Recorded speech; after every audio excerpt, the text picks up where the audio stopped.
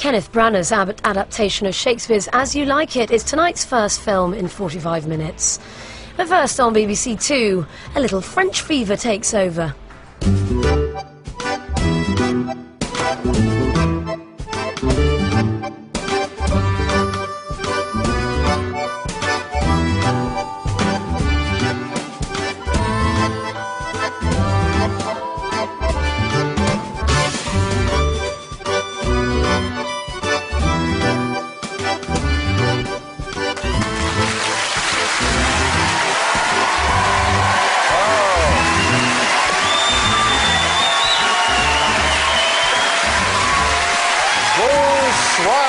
Bonsoir, bonsoir, bonsoir, bonsoir, bonsoir. Mesdames et messieurs, et bienvenue à QI, or QE as we should more properly call it, because tonight, tonight we fare forth into our favourite foreign fiefdom, land of fromage, froideur and flageolet. La belle France. Avec moi, ce soir, je suis delighted to welcome le grand légume Phill Jupitus.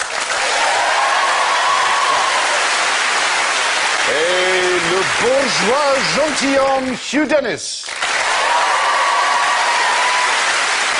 Merci. La femme fatale Jo Brand.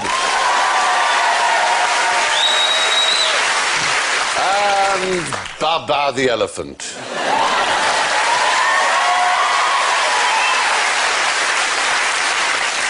But before we laisser les bons temps rouler, les champignons musicales, s'il vous plaît. And Phil goes.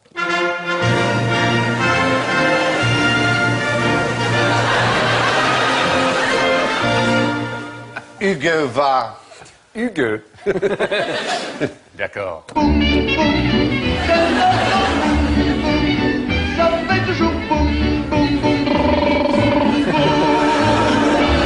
Uh, Jo va. Non,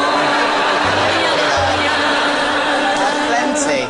non, je ne regrette rien. And Alan goes.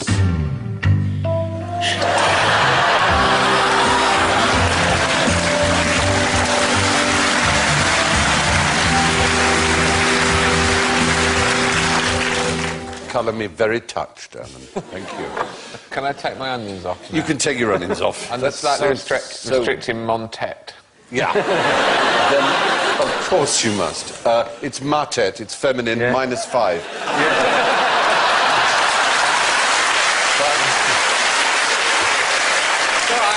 I because I'm masculine.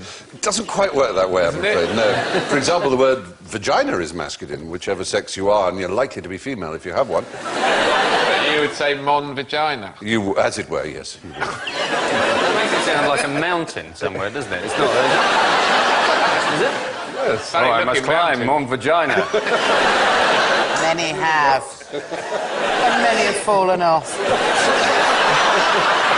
Donc, allons-y, mes copains. Alors, à ce moment-ci, je vous donne euh, des bonus points si vous pouvez répondre en français. OK? Yeah. Oui. Very good. Already, bonus points to you. Rien Phil, de rien. Non. plus tard, nous verrons. Phil, comment ça va?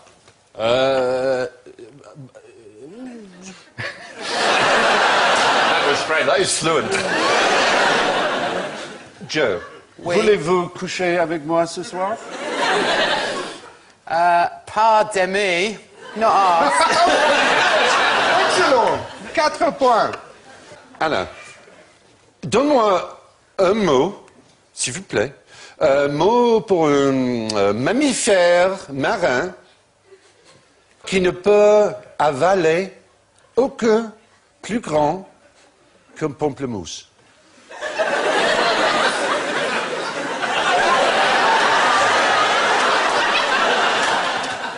Pamplemousse. What's a pamplemousse? Ask the audience, ask the audience. I think What's a pamplemousse? it's French porn. Right, grapefruit. Grapefruit.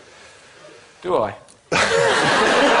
see, Alan, for the last six years, you have yearned for the answer to a question to be, and it never has been. The blue whale. And that is the answer! oh. oh.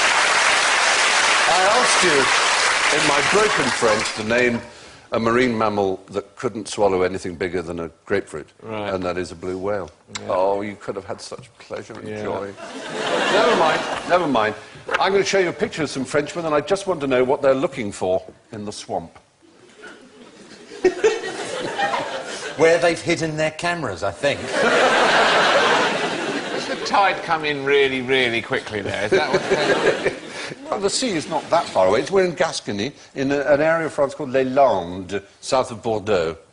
Je pense qu'il cherche un mouchoir. They're looking for a, for a handkerchief. Yes. That's not because I think they are, but I don't know any other French words. Oh. Oddly enough, the first three letters of the thing you think they're searching for are mm-hmm. correct. Hand job. No. You said mouchoir, and it's mou. Mouton. Mouton is the right answer. They're looking for sheep. They're shepherds. They are the Landes shepherds. And they No, they're not! Are all, the, are all the sheep on stilts as well? That Is there a French program called One Man and His Stilts?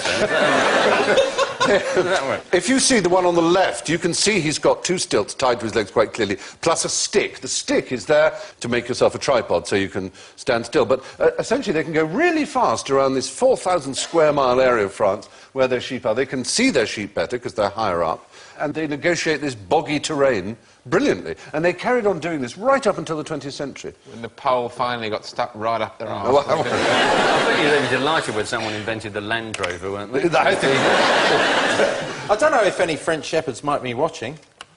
Get dogs. you'd think. Might save you a bit of time overall. Dogs rather on than- stilts. Oh, don't get me started.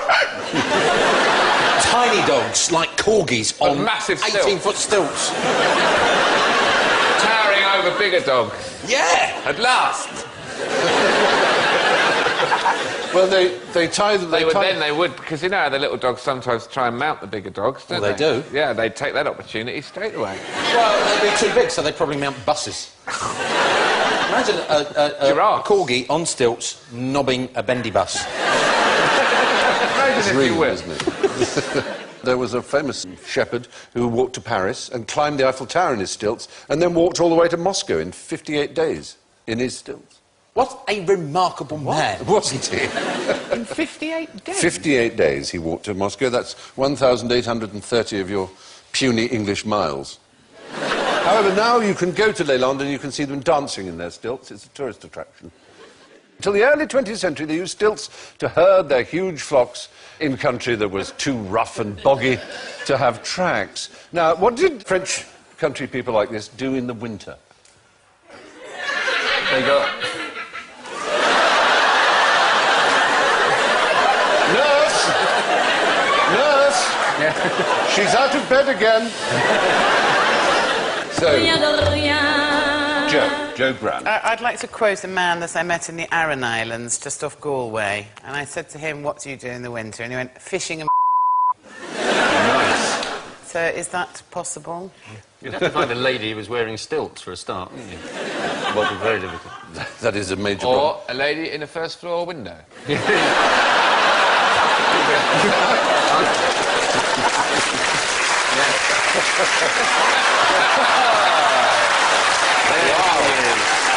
Are you tempted? Oh, here they Yes, come again, the say. bastard shepherds. No, it's very extraordinary that, again, until very recently, a lot of French country people did this. Ex- not, not extraordinary for certain animals, but pretty extraordinary for humans. They Hibernate. hibernate. Hibernated, Oh. yes. I mean, not true hibernation, their body temperature didn't drop and, and so on, but they essentially kind of slept. They would wake up once or twice, And have a biscuit, and go back to sleep again. They They um, have to go in a cardboard box with a lot of straw. a lot of shared You got them warmth. out in March and had a look and looked underneath. oh, no, not ready yet. They So came- they, they didn't hibernate as such, they were students. Basically. Basically, yeah, that's true. They all crammed together for bodily Oh, Lorraine Kelly's on, quick, up.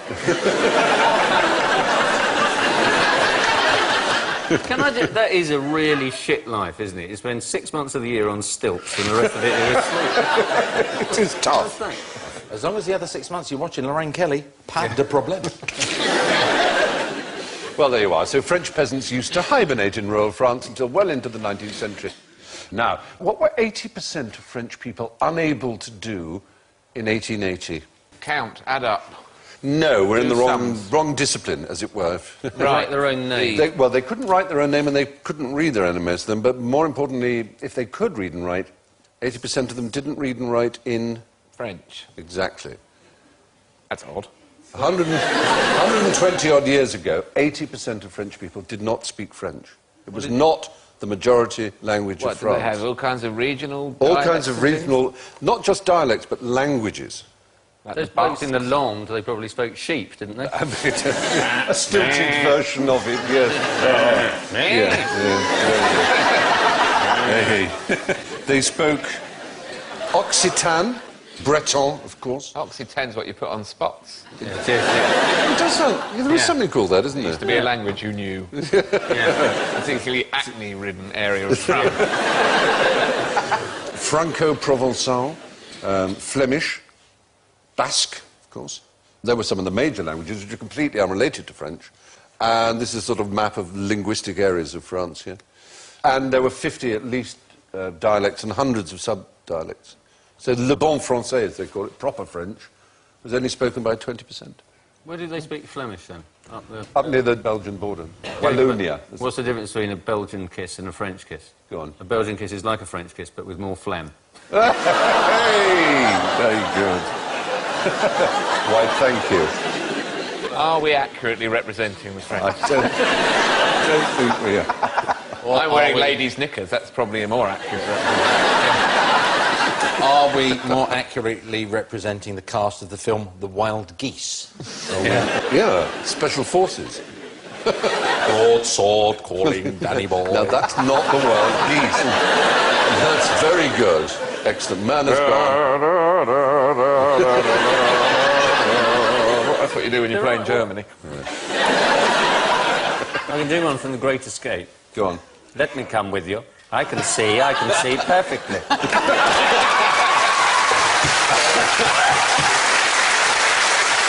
Very good. Donald Pleasence to a T. Jo, do you have anything to offer the World War films? Mary Poppins. Oh. Get back to work, you slag. Maybe I'm thinking of the porno version. Mary Popshot, I've seen that. Oh dear. Mary pops in. Pops right. So, Mary pops in and out. yeah, well, right. Um, so, please, let's pull ourselves together. it's so nice to fornicate with Mary.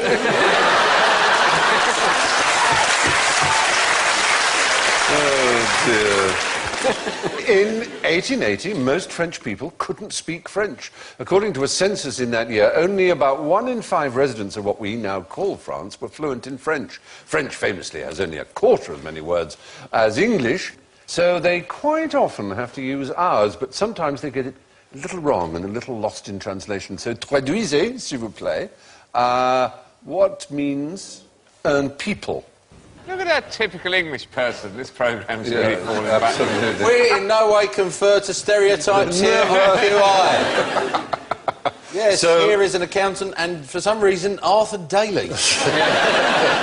That's not a French Yeah. bit. It's like, oh, I, I'll tell you, I've got two fingers for you here, you Look at that. Look at the in the hat over there. Look at him.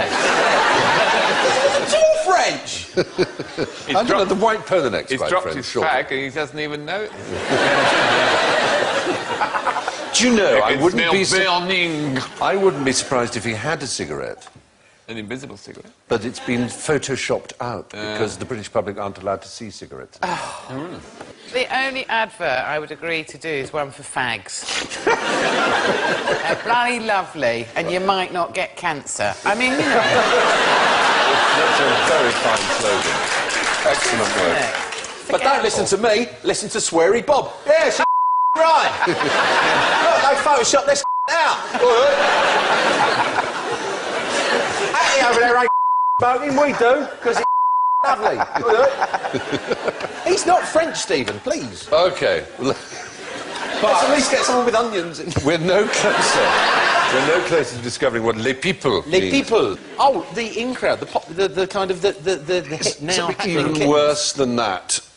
Uh, Oh, what is our apples. current obsession with in England? Celebrities. Oh, celebrities. Are they the- Celebrities are les people. Oh, Pathetic, isn't it? merde. Uh, what is what is um, brushing? Um, blushing.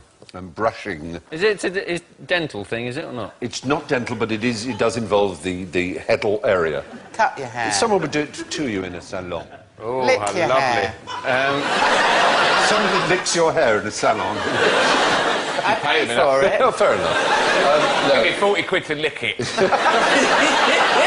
Oh, oh, Stop it. Uh, I, yeah, no. And for 50 quid, we'll get a cow to come in and lick it. Yeah, is that, yeah. I'm not talking about the hair on my head. Oh, no, please. Enough already. Uh, My it's legs, a blow dry. Blow, Blow dry. dry. Brushing is a blow dry. And what is earn relooking? A blow job. No. Is it a double take? An excellent example of the breed, if I may say. Um, A repeat. not a repeat, it's another thing which was very popular. There were television shows devoted to. Oh, a clip show. No, no, no, that's more logical. It's, it's weird. It's, it's, It's- uh, Is a sort of reinterpretation or something? yeah, it's a makeover. Oh, right, okay. A makeover is a relooking. Is it? A relooking is a makeover. how, do, how does this... Relooking extreme. Yeah, How does this... How does this Académie Française allow It this? doesn't. The Académie Française would not accept these. They wouldn't go into a French dictionary. But they are used all the time. Usage in the end is the arbiter final, surely. Finally, Vaseline. To grease yourself up, Stephen. Oh, dear. No. Vaseline, that's like the two Spanish firemen, Jose and Jose B. That's my favourite. my favourite Spanish joke. Oh, very good. Jose, Jose. To butter someone up. Yes, exactly right. Yes. To flatter, to butter someone up. Very good. Excellent. Excellent, excellent, excellent. Now, uh, this is the original design for a familiar French object. What is it? oh! There's an elephant in the room. Oh, no. How did you find that elephant? That's from last series. That was like a year ago. We were offering bonuses for have been- elephants. Must have been there for a year. Oh, well- all I can surmise. Well, just for cheek, I'll give you 10 points. I think it's brilliant. um, extraordinary. um, this, this was a design for an object that was going to go in a place where now a more familiar landmark. Est-ce que c'est le Tour Eiffel? Non, ce n'est Uh, pas c'est- la Tour Eiffel. Arc de Triomphe. it, uh, the Rouge? Not the Moulin Rouge. The You Arc got it. de Triomphe. The Arc de Triomphe. Where the Arc de Triomphe now is, in l'Étoile, at the end of Champs-Élysées, this was a design to celebrate the glorious achievements of Louis XV in the shape of an elephant, as you may have noticed. Really? Yes. it was a grand kiosk to the glory of the king. Um, and, A kiosk yeah, they called it a kiosk. selling fags. It, it, it was to have a form of air conditioning and furniture that folded into the walls, a drainage system in the trunk, which would also serve as a fountain. You could hold balls and banquets inside it. a drainage system serving as a fountain. Well, kind of, I guess. There is a large elephant, I believe, in Bangkok, a building in the shape of an elephant in Bangkok, huge building. But this sadly never happened. Instead, the Arc de Triomphe, which is the largest triumphal arch in the world, was placed a little later, 50 years later, by Napoleon to celebrate You see, now the Arc de triumph. Triomphe just looks shit. Doesn't it? So dull. Oh, it it's basically could the Marble Arch, isn't it? It's Yeah. not much more than Wellington's victory arch, but it's bigger. Do you know what it celebrates? Which victory? Austerlitz, I think. 1806. Austerlitz is exactly right, yes. Crikey, well 1806. Very good, very smart. And in 1919, Charles Godefroy, an aviator, flew his plane through it to celebrate the end of the war. But he was pleased there wasn't an elephant there. Very. And unfortunately, of course, Hitler marched there. To celebrate The beginning of the war. Well, uh, kind of, yes, to celebrate his, his occupation. Newfound of friends. France. Yes, his new friends, exactly. so the answer was the Arc de Triomphe. Uh, it was planned in the shape of an enormous high-rise elephant with air conditioning, a spiral staircase, drainage system in the trunk. Now then, what are the symptoms of Paris syndrome? It exists. Paris syndrome. Yeah, I had to be explained to me what that was. Yeah. Is it auditory hallucinations in the third person, night's move thinking, and an inability to crochet? No. Very specific, and I like that. You have to picture the Japanese who are taught, as many people are around the world, that Paris is the centre of sophistication, elegance, artistry, cosmopolitan élan, and savoir faire. And they arrive in Paris, and almost everything the French do is something that Japanese people find very difficult. Almost everything in the French language and the way it's spoken is to them somehow kind of offensive. Plus, they have to walk miles, they've got jet lag, and they suffer from Paris syndrome. And at its most serious, an average of 12 people a year have to be expensively repatriated to Japan. There is a 24 hour helpline in the Japanese embassy in Paris for Japanese people who are traumatized by the experience, the disappointment, the horror, the offense to their sensibility of Paris. That's extraordinary. Isn't that isn't fabulous? That is fabulous. I think it reflects I well on the Japanese I don't myself. find it. I had. Ex- I, I definitely had that when I went there. Yeah. Miserable bastard. If, you're, if you are traumatised by Paris, you're going to be traumatised by the French medical system, aren't you? Because what the French always do, whatever ailment you have, they give you a suppository. Up the bottom, you're quite right. Don't they? You've got because they That's want to their get it. answer for everything. Yeah. So Paris syndrome is an extreme form of culture shock that affects Japanese tourists. Now, who were described as a bunch of lunatics and a woman? No, no, The no. words right out of my mouth. Yeah, we're in France still. In Paris, in fact. Uh, uh, Yes. the first revolutionary committee. Uh, No. Marat and that lot. No, he those wasn't. Nice thought. The woman's name was Berthe Morisot. Does that help? Oh, uh, uh, Who was Berthe Pain- Morisot? uh, she was the Oh, the- sister of someone, wasn't she? She was. She But was it- the, um, She was a painter. She was, in her own right, an, an yeah. impressionist painter. uh, there's a bit of a left clue in the. Uh, It was the Impressionists. Yeah, the Impressionists generally were described as this. Now, of course, amongst the most valuable art in the world and amongst the most agreed upon in its lusciousness. But at the time was considered absolutely horrific. Horrific, unfinished, nonsensical drivel. Artless, in fact, and, and valueless. And uh, the word impressionist was, was an insult. Uh, it was given by a, by a, a critic. Hello.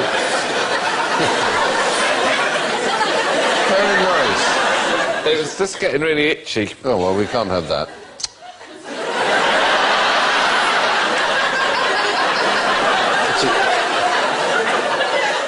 You look like a Greek Orthodox minister there. That's exactly what I was. You were going for. for the archimandrite look. yeah. it's Archbishop Makarios. I miss Makarios. Yeah, lovely. Whoops. Super. Um, anyway, yes. Uh, in the world of the Impressions, do you like them? No, well, they've made no impression on me, Stephen. Then uh, they have not done their work. No. No. The reason I knew the answer to that was because when I was uh, when I was 18, when I finished my A levels, about four mates and myself went to Paris for a week and went to the Jeu de Paume or wherever the Impressionist Museum was at that point and stood in front of all these pictures by Manet and the kind of views of Rouen Cathedral or Reims Cathedral or something and started doing that really awful thing of going, oh, what tremendous use of light. And at that point, I actually did think, not for the first time in my life, I just thought of myself, what a tosser I am being. And it sort of effectively cured me of that sort of thing. We had Mr. Bradshaw for art, Yeah. and on the first day he gave us all. This is double art, Mm-hmm. so it was 80 minutes of art, mm-hmm. and he gave us each a copy of the Observer Book of Artists, and told us to read it in silence. I was really bored. We were all bored and started to- actually, ironically, doodling. and doing stickmen football matches and things like that. And then he said, do a size of a postage stamp painting of something you'd like to paint properly. And I did a steam engine. I was quite pleased with it, but I couldn't, I after a while, I didn't like it so much. And I did a black line all round it. And then I thought it looked great, quite dramatic. And he came and said, there wouldn't be a black line around it, would there? And painted it out. What? And then I went to an art gallery somewhere one day for no reason other than it was raining, probably. and there's some really famous painter, and everything in all of his paintings had a black line around Yeah. it. Yes, the famous painter Bradshaw.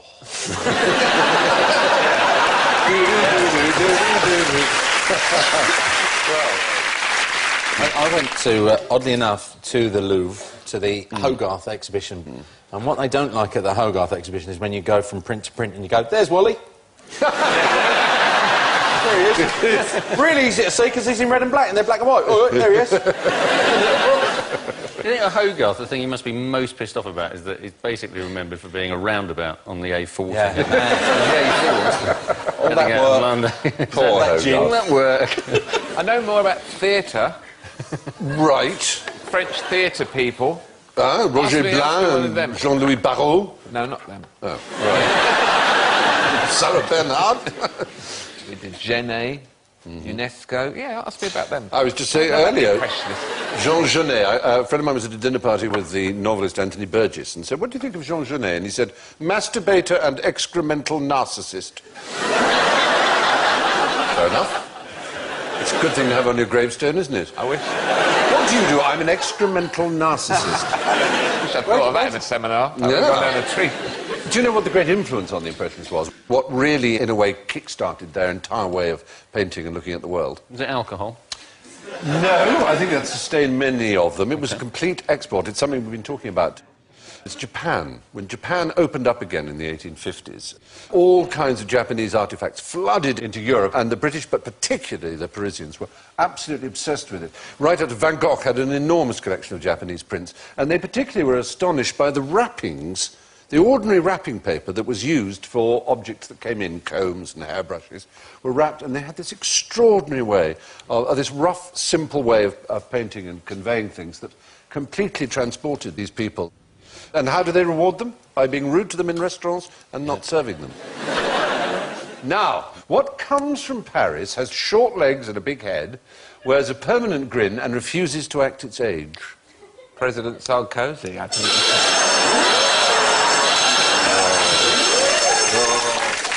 Uh, no, uh, not him. We're thinking of something that isn't human. Madame Cholet. Very good. A panda or something ridiculous like that? No, it's a Mexican creature, and it, it, it, if you think of a... Chihuahua. Uh, no, it's a really nice, crunchy, Aztec-sounding word, like their mountains. What are their mountains called in Mexico, you know? Popa, Uh, uh, Popa, Popocatépetl. Popocatépetl, uh, Cotopaxi, Popac- all that sort of name. This animal has a name like that. So- Haddock. Axolotl is the right Axolotl. answer. Well oh, I'm done, being so Jo. intelligent tonight. Yeah. What's oh, come over five me? points to Jo for axolotl. Yay. Yeah, yeah. Aren't they cute looking? They're a species of animal that d- sort of branched off from the main. They stopped metamorphosing. You know the way a tadpole turns into a frog? Well, this is how, this should be halfway through the life of a salamander. But instead, there's a sort of subspecies of salamander that's, that decided it liked being halfway through and not turning into a salamander. But it can be, if you inject it with iodine, it will turn into a salamander. It will also go bright Yeah. yellow, presumably, will it? Or not? Uh, it will go, I think it's a tiger salamander, it'll go a rather mottled colour. So it's a really extraordinary, they're very popular pets because they've got little cheeky, grinny faces. What a great hobby. I'm an axolotl transformer. I walk around Yeah. with a syringe full of iodine looking for axolotls. Salamander. Salamander. And they have other extraordinary properties that make them very interesting. They heal without scarring, and if you cut an arm off, it grows a new one. Because, in a sense, they're almost made of stem cells. So they teach scientists an enormous amount about the way stem cells work. And they are unbelievably cheerful. they, they're so cheerful. and they, partly because they can regenerate. They're Well, like the cheerleader in Heroes, aren't they? That's Yeah. essentially what they are. They are exactly that. They're, They're, um, like her. If you inject her with iodine, she might become a salamander. That'd be an interesting... She might well. Season three. yeah, season three. They're popular pets, especially in Japan, oddly enough. I Where bet you like they're not them very smiling when they get there, are they? No. they come from Mexico. There's one particular lake, well, two, but one, one of them's dried up, and the other one is now a series of canals and things. It's under Mexico City. And in the 19th century, six axolotls were taken to this French scientist who examined them. And almost all the axolotls in the world that are used as pets and everything are descended from those six. They, they breed them, do they? And you can buy them in They're very Paris popular. equivalent of loot. They're very popular pets. They, they live underwater, and they're cheerful, as you see. And have they all got dreadlocks? Well, that's the ferny bit I mentioned. And it is ferny, isn't what it? What does it do? It's those are gills. External gills. Yeah, yeah. My ears are starting to look a bit like that now. It's like- Now, axolotls was the answer. A species of salamander that have refused to grow up. Most of the world's surviving population are descended from six that were imported into a Parisian lab in 1863. Napoleon once said an army marches on its stomach. Why would you want a Frenchman by your side in a fight? there is a Frenchman. Give me five points if you know who that Frenchman It's is. Andre the Giant. It is Andre the Giant, you're absolutely right. He was a well-known a wrestler. wrestler. Yeah, yeah. And also starred in an excellent film, Called The Princess Bride. The Princess Bride. You're right. Point Trivia you, points, yes, but not real points. Excellent. Which is his normal body colour? Uh, I think... He's going to a party at Judith Chalmers' house in one, and then in the other he's going around the Smurfs. I'll give you 50 points if you can tell me he, who used to drive him to school when he was a boy. Was it President um, Sarkozy. John Vanessa Wayne. Phelps' aunt? No, it was a Nobel Prize winner. And who's in Wisden? As a cricketer. Allons, on ne peut pas. Pourquoi? On attend Godot. Oh, Beckett. Samuel Beckett. is the Is he Wisden? Sam- yes, he is in Wisden. The only Nobel God. Prize winner in Wisden, I believe. What's he Say- Wisden for? He was a fine cricketer in his day, in Ireland, uh, as a young man. He was an excellent cricketer. What The was it- Mick doesn't it- play cricket. It's in, it's in, What did he used to do to Andre the wrestler? he, he used to drive him to school. And he had this condition, Andre, which meant that his growth hormone couldn't be stopped. And so he had 13 inch wrists, for example. He was He was really Huge. huge. But we use him as an example of a French soldier, which he A wasn't. French soldier. really. But why would a French soldier be a good person to have by your side? Are they good at fighting? Well, that's really the point. Yes, they are, despite their reputation for being miserable Always cowards. losing. Yeah, uh, after always losing, they didn't. It seems, according to Niall Ferguson, the historian, of the 125 major European wars fought since 1495, the French have fought in 50, more than Austria, which is 47, and England, 43. And they achieved an impressive average. Out of a total of 168 battles fought since 387 BC, they've won 109, lost 49, and drawn 10. Yeah. That's pretty uh, good. Put, put the glasses back on. Yeah. Just pop them back on. Yeah. Now, people flicking over the channel may suddenly think that they're seeing a Benny Hill retrospective.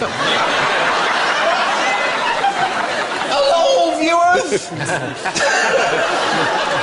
There's a touch of that. Oh, if only oh, Henry you McGee was on tonight, what a show you'd have. Yeah. We are speaking with Mr. Fred Scuttle. yes, we are, sir. I have been hosting quizzes uh. for some 20 years. My father used to build concrete barriers to stop cars. Bollards, it's true, sir. We miss him. We miss him dearly. The world needs Benny. Anyway, that's, that's the point. Despite what did groundskeeper Willie famously call them? Ah, cheese-eating surrender monkeys. Cheese-eating surrender monkeys. Uh, despite that reputation for not being... In fact, there was a time when if you Googled French military victories, uh, Google returned, because someone had written a very clever little program inside it, they returned, did you mean French military defeats? extremely unkind. They've had a bad recent record, though, haven't they? I mean, Well, you're since- going from 387 BC, but Obviously, Napoleon ultimately lost. A lot of victories on the way, but then we got the cane out of the cupboard and we gave him a damn good thrashing. um, and that was, uh, Now, les jeux sont faits, rien ne va plus. Nous sommes arrivés à la point in le show where the TGV of savoir-faire hits the brick mur of je ne sais quoi, avec la ronde qui s'appelle General Ignorance. So, fingers on buzzers, Alain, what did the Romans like to wear? The Uh, Romans. togas. Uh, sandals. They wore sandals. Sandals, they did wear sandals, but togas, although they did wear togas, they expressly did not like wearing them. They were huge and unwieldy. Sick of this thing. They, they actually, Augustus the emperor had to pass a law making Romans wear them within the forum because he didn't like them not wearing them. But they were huge things. They were vast and they were very hard to put on. You had to keep your left arm up in order for it not to slip off you. And they were totally unwieldy. That is a toga. That semicircle, sort of, oh, that mandarin slice there is a sure that- toga next No, to a human being. that's It's a great semicircle of That's a material. man windsurfing. We had a toga party at my house in 1982. And I'm sure you use much more convenient togas. Sheets. Sheets, exactly. a la- Duvet covers with a friend, hole in. My friend Danny had a pink sheet with Pontin's holidays embroidered in the corner. How stylish. he did not get off with anyone. No. I laughed all night every time I thought. Would they have different tog ratings of toga for the like, winter? Big old Romans just like. Well, they had the toga warm pulla, Rome which was a dark toga, and they had the toga picta, which was a patterned toga, and they had the toga candida, and uh, candida is the Latin for white. Uh, but the toga candida was worn by those who were entering an election from which we get the word Candidate. candidate. Comes from that. Points. Definitely a point or two for that. Now, why do racing cyclists shave their legs? Well, I hesitate to say for aerodynamic purposes.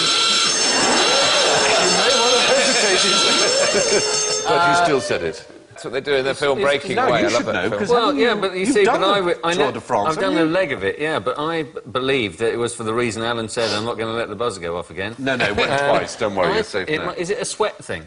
Then? Not quite that. It's uh, a, it's a sort of odd series of reasons, it appears. But there's absolutely no aerodynamic advantage, and they know it, apparently, because they all obviously have their doctors and scientists helping them. Swimmers, of course, they have a 2% advantage by shaving in water.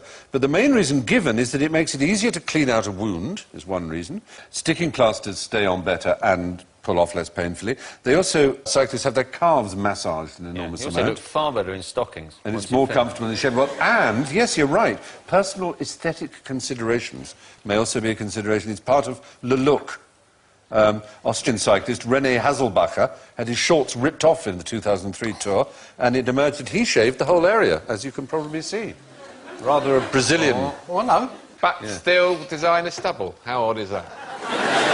Yeah. Sorry. Shave from neck to toe. It's a shame it doesn't make any difference because I've been using the fact that I didn't shave my legs as an excuse for going five hours slower than the guy who won. What did, which stage did you do? I did what was the. It's, there's, there's an open stage every year, Yeah. where- an amateur stage. And you're you allowed to do- join in? You do well. You do it two weeks before they do it. So eight thousand of us did it. and by the end, there were four thousand of us left at the end of it. I started in two thousand four hundredth place, and I finished in three thousand four hundredth oh, place. No. I mean, So a I was thousand people over I was 20 passed by a thousand people, and it took me.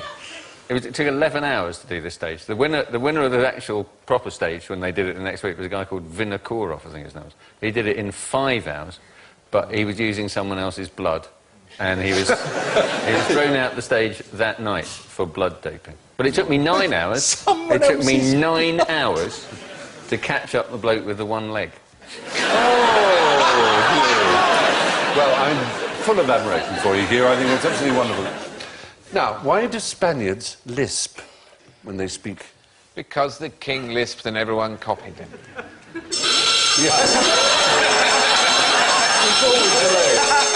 Yeah, there is no evidence whatsoever for this. And, and if it were true, then they would lisp it all the time. They wouldn't say España, they'd say España. But They don't. Except in there are very small areas where they lisp on the S as well, but that's considered very bumpkinish in Spanish. So it's just somehow one of these stories that's got around that isn't true at all.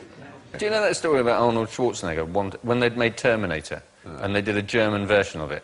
And he said, Can I please dub it back into German because I speak German? And they said, No, because he's Austrian and he sounds like a farmer. John Connor? Yeah. Are you looking for John Connor? Connor. oh, he's coming in the future. Oh, we bad.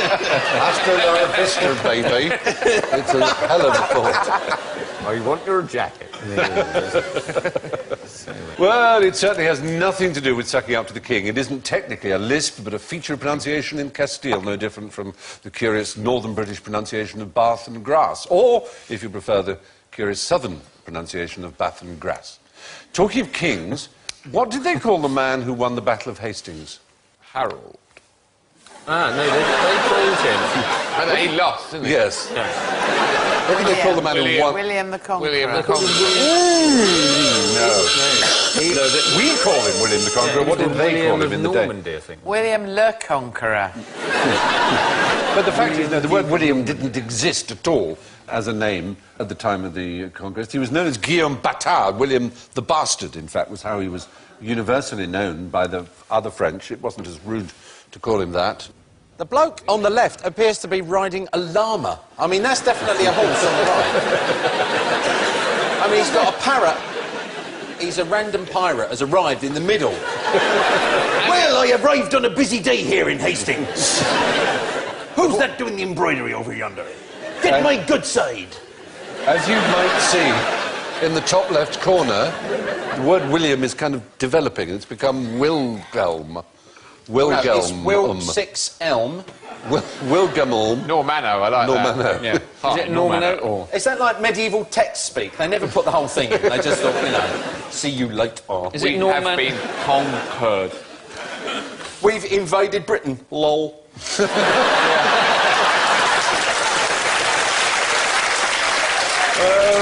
OMG. Very good. So.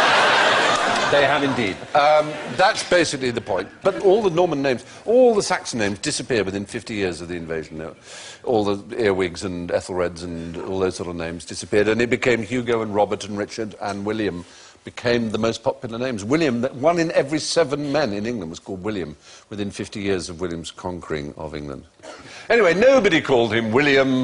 The French called him Guillaume le Bâtard. As for the English, uh, there was no equivalent name in Anglo-Saxon, so they just probably referred to him as the bastard. But sacré bleu, and zut alors, it is uh, that time, ladies and gentlemen. Garçon, l'addition, s'il vous plaît. And I have the scores right in front of me. Here is the damage. Well, well, well, well, well, well, well. We have an outright winner, ladies and gentlemen, with 15 clear points. It's Hugh Dennis. Go. Wow. There you go. In second place, in second place with Sank, it's Jo Brand. Not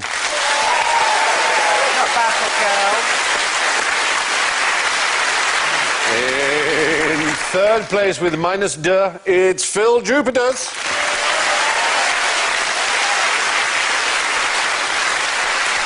But with a magnifique minus 39, minus 39, Alan Davies.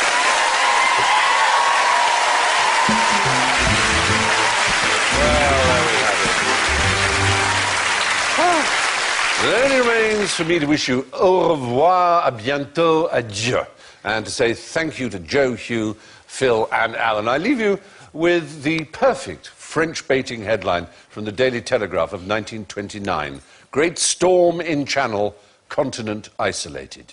Salut maintenant. Merci. The double bill of Family Guy kicks off over on BBC Three in five minutes. Classic Shakespeare next here on BBC Two, with tonight's first film, As You Like It.